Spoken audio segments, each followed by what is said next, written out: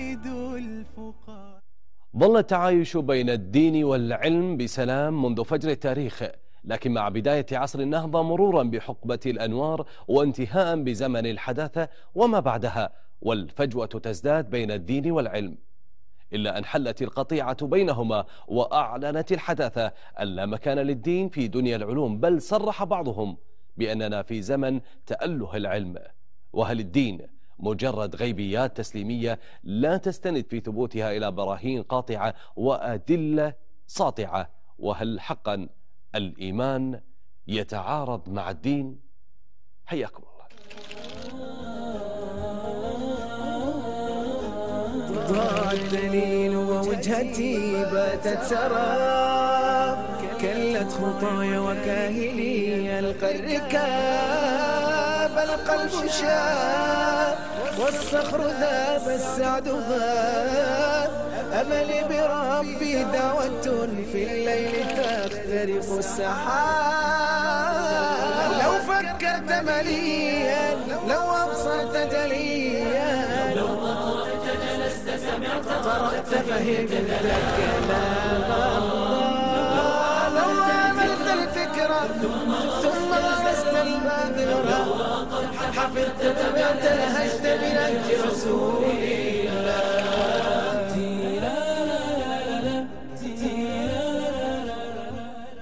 دكتور في يومنا هذا اللي نعيشه البعض يسمي العصر اللي عايشينه عصر العلم لأن الإنسان بلغ مبلغ من اكتشافه لهذا العلم مبلغ كبير جدا.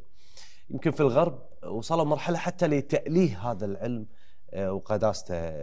هذا يثير بعض التساؤلات بعض الشكوك حول علاقة العلم بالدين علاقة العلم بالإيمان. دكتور خليني أسألك سؤال مبدئي. شنو تفسير تعريفنا للعلم؟ شنو هو المقصود بالعلم؟ أول شيء بالفعل أخوي طارق إحنا يجب أن نؤكد على أن هذا عصر يسمونه عصر سيادة العلم وعصر تأله العلم بعد خاصة في الفكر المادي الغربي والغرب هو الذي تقدم بالعلم بمعناه التقدم العلمي التقدم التكنولوجي التقدم الإداري إلى آخره.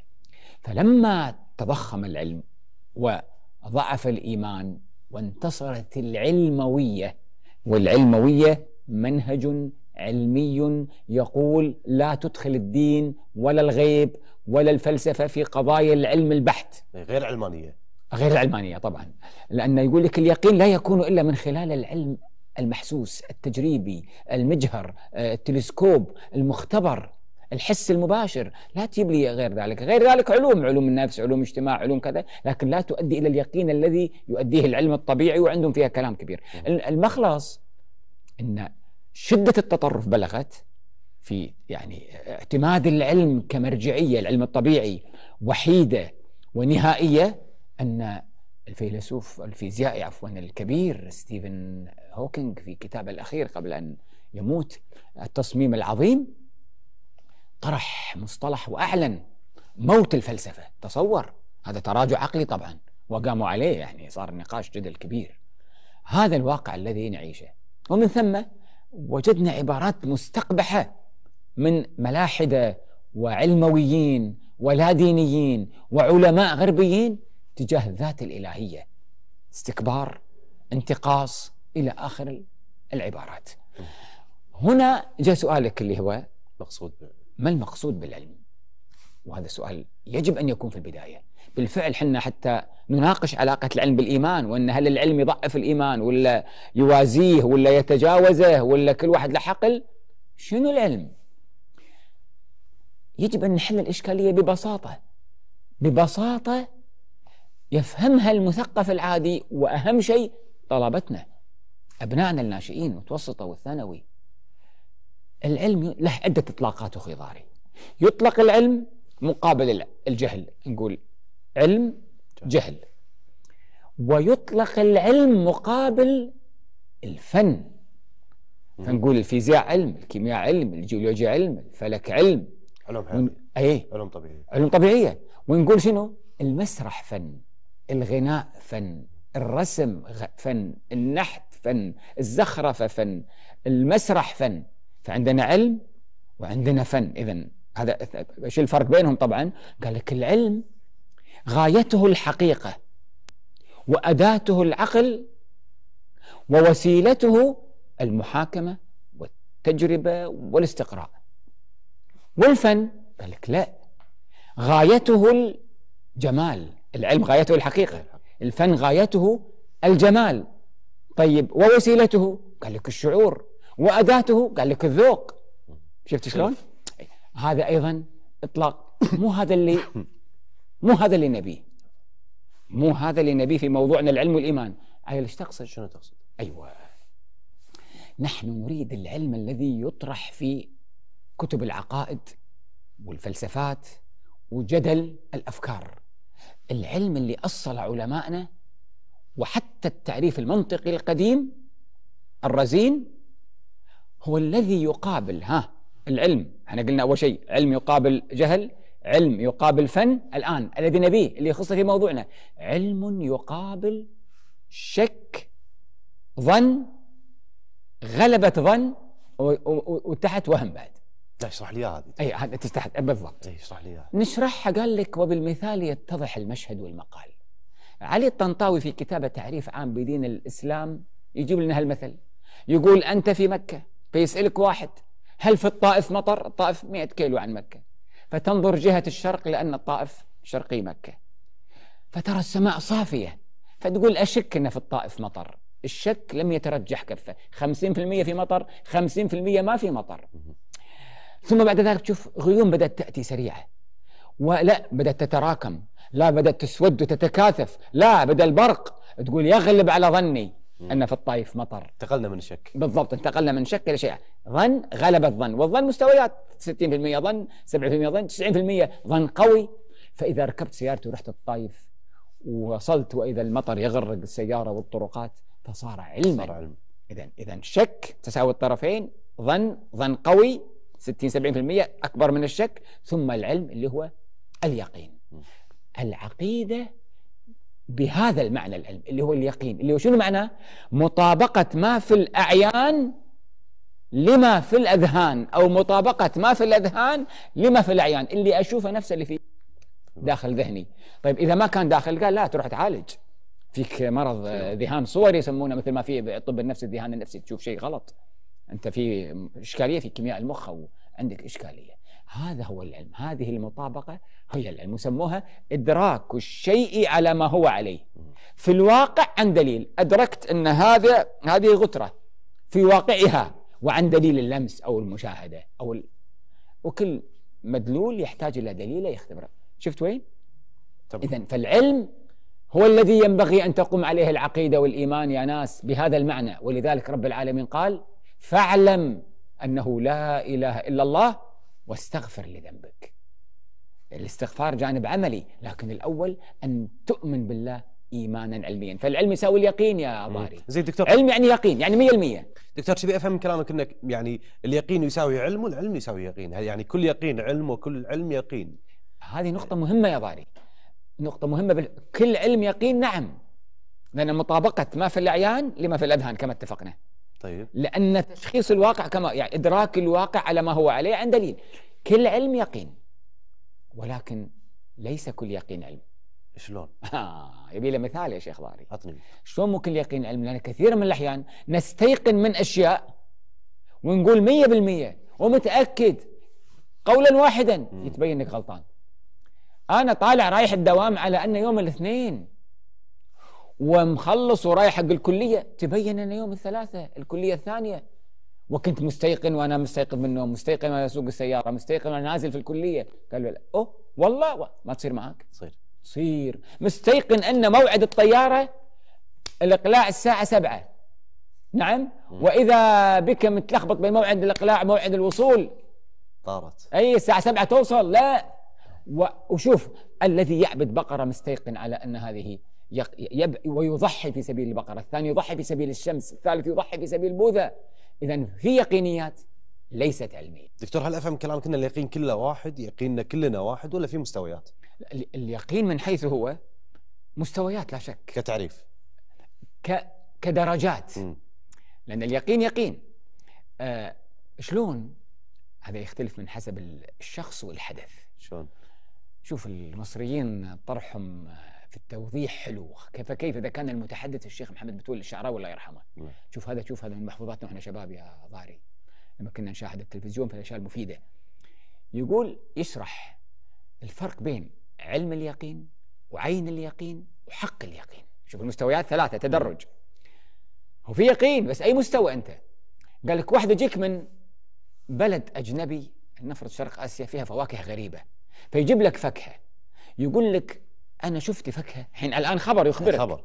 أنا شفت فاكهة في البلد ديت حجمها حجم البطيخ وقشرها قشر المانجو وبزرها بزر الرمان وريحتها ريحة الجوافة ورقها ورق فأنت بناء على تصديقك اللي طبعاً. هو ثقتك من كلام انه أمين وصادق تؤمن إيمانك بخبره علم يقين. فإذا قال لك اهي بطل الشنطة وطلعها فشفتها فانتقلت من علم اليقين إلى حق عين اليقين. إلى عين اليقين. فإذا قصدك قطعة صغيرة وقال لك تفضل يا ضاري حق. دوق فإذا ضقت انتقلت إلى الحق حق اليقين. كتب العقائد القديمة كانت تطرح مثل آخر. يعني كتاب شرح منازل السائرين لابن القيم يقول لك في مثل العسل. يعني يا ضاري أنا أقول لك ترى آه، عندي لك آه، زجاجة عسل سدر على كيف كيفك. أعطيك إياها في السيارة. هذا خبر صار إيش؟ علم اليقين. حلو. مثل أخبارنا كلها علم يقين. أو أخبارنا اللي نبني عليها حياتنا علم. فإذا رحت معي السيارة وقلت لك اتفضل العسل. كاهي صارت إيه. إلى عين يقين. قالت يقين. بس اخاف تكون يعني آه، دبس ولا؟ قلت لا يبقى أفتح. ذوق عسل سدر على كي. صارت حق يقين. علم عين حق. اذا حتى اليقين مستويات. لا مراحل لا شك. دكتور مكملين في هذا الموضوع لكن خلينا نشوف وياكم هذا التقرير ونرجع لكم بعد شوي.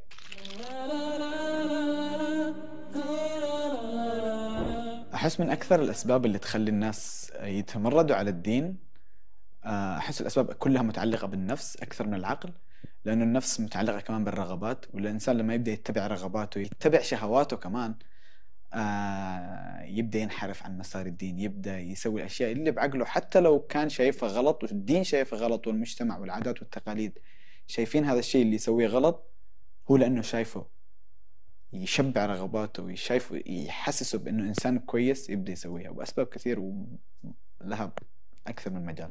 الأشياء اللي ممكن تخلينا آه، نتصرف بتمرد على ديننا وإيمان على ديننا وإيماننا هي آه، اولا العادات والتقاليد اللي تمارس من قبل الجاهلية ولم يستطع الإسلام حتى الآن توقيفها. آه، العادات الغربية اللي بتنتشر بشكل فظيع جدا من خلال السوشيال ميديا في دولنا ال- العربية. آه، من وجهة نظري آه، بتوقع إنه الواحد بحياته هو راح يمر في مراحل راح يكون متشكك في ذاته.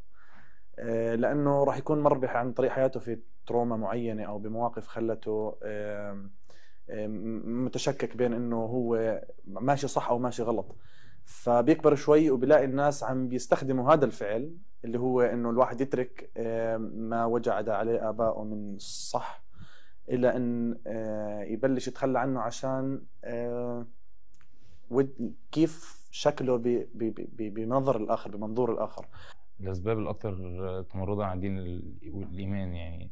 أظن الاتنين مش العقلية والنفسية مش حاجة واحدة فيهم هي العقلية عشان خاطر لو أنا ابتديت أفكر في أسئلة ملهاش إجابات فالأسئلة دي ممكن توديني للإلحاد. الموضوع ده ملوش علاقة بالسن. الموضوع من وإحنا صغير لغاية وأنا كبير الراجل ممكن يبقى راجل كبير ويبقى بيسأل أسئلة ملهاش إجابات أو بيسأل أسئلة مش منطقية لنفسه فبتوصل له للإلحاد. ممكن يبقى ولد صغير نفس الموضوع. عشان كده بيبقى بنرجع عندنا نرجع دايما للدين أو نرجع دايما للقرآن. قال عشان نعرف الموضوع أكتر عن الدين أو بن- بنشوف إجابات للاسئله اللي عندنا. إذا بدنا نبلش من عند الأسباب النفسية اللي هي المحيط الخارجي. دكتور بعد ما قيل استوعب إن آه، ال- البعض قد يقول ومثل ما ذكرت أنت نحن في عصر ال- العلم. لكن يقول لك أنا ما أحتاج هذا العلم. أنا أقدر أستدل على بعض الأشياء من خلال البديهية يعني. ما- فما يلزمني هذا العلم في عصر العلم. وكلامهم صحيح إنه مو يعني هو الحال والوضع يقتضي الاستدلال العادي أو الاستدلال آه، الوسط أو الاستدلال العميق أو الاستدلال المباشر أو الاستدلال حسب نوع ال ال- ال- الواقعة والسجال الحاصل أو الإشكال القائم خاصة في قضايا جدل العلم والدين أو جدل الإيمان والعلم. فإحنا وهذا اللي يقولونه علماءنا يقسموا العلوم إلى علم ضروري وعلم نظري. قال لك العلم الضروري الذي لا يحتاج إلى إيش؟ إلى دليل. هذه شجرة أمامي. زين؟ آه، تقول اعطني دليل إنها شجرة؟ لا هي شجرة. فما يحتاج. أما الذي يحتاج إلى دليل سواء كان في العلوم الطبيعية أو العلوم ال- العقلية هو الذي نبذل فيه جهد. فمثلا مرب يعني لما قسموا العلم إلى نظري وإيش؟ وضروري، الضروري قلنا ما يحتاج إلى دليل، الضروري يعني يفرض نفسه عليك، هذه طاولة. ما, ما تحتاج إلى علم عدل، ما تحتاج إلى استدلال، أما النظري نظري. تحتاج إلى نظر وبحث، يعني مربع الوتر. في المثلث قائم الزاوية يساوي مجموع مربعي الضلعين القائمين، مو درسنا هكذا في الهندسة؟ طيب هذا ما يعرف بال- بالفطرة ولا يعرف بال حتى لو تشوف المثلث ما تعرف القاعدة. الا لما تجيب الأدوات الهندسية والفرجار وتقيس. إذا العلم نوعين ضروري وعلم نظري. إحنا ننتقل من الضروري إلى النظري عندما يقع الاستشكال. وأنت لما قلت بديهة فعلا العلماء تكلموا عن البديهيات. البديهيات قضايا ذاتية ما تحتاج تستدل عليها. هي دليل نفسها. مثلا من القواعد البديهية. قانون الهوية. هذا وايد نقراه فيه الحين طبعا الناس انفتحت شيخ أول كانوا يدرسونه في المنطق. حتى ب... قانون الهوية يعني شنو؟ يعني الشيء هو هو. القلم قلم وليس غير قلم وليس ملعقة. تمام. تدري ليش أقول الكلام هذا؟ لأن طلعوا فلاسفة في اليونان يشككون في البديهيات ويعلمون الناس الجدل اسمهم السفسطة وأقسام وقصة طويلة. يعني انت تجيني يا ضاري اتيك أنا قبل عشر سنوات واستلف منك تستلف مني تقول لي يا أخي أبي مبلغ وأبيك تصبر علي عشر سنوات، فصبرت عليك عشر سنوات ثم جيتك. قلت لك يا ضاري أنا ما أقدر أصبر أكثر من شكل. ابي العشر سنوات قال لا يا حبيبي روح أخذ الأموال اللي استلفتها من ضاري قلت له أي ضاري قال أنا الحين ضاري متزوج وذاك ضاري كان شاب غير متزوج. أنا ضاري موظف ذاك كان طالب. أنا ضاري ال- الملتحي ذاك كان حليق. أنا ضاري الموظف ذاك كان ط- ما كان موظف. أنا ضاري اللي ساكن في هالمنطقه أصلا حتى خلاياي تتجدد. زين؟ بل أفكاري تغيرت. أنت ضاري ذاك كان صاحب اتجاه وتيار آه، قائمه الفلانية. أنا. لا لا روح اخذ ذاك كان سمين أنا ضعيف. ففي تغيرات وايد يبغى روح أخذها من ذاك. إحنا نقول لا قانون الهوية شيء ما يتغير. شوف شوف دقة. ال- ليش الناس تسعى إلى هذا حتى يغلقون الباب على المغالطات. تمام. دكتور مع البديهيات طرب بالي سؤال.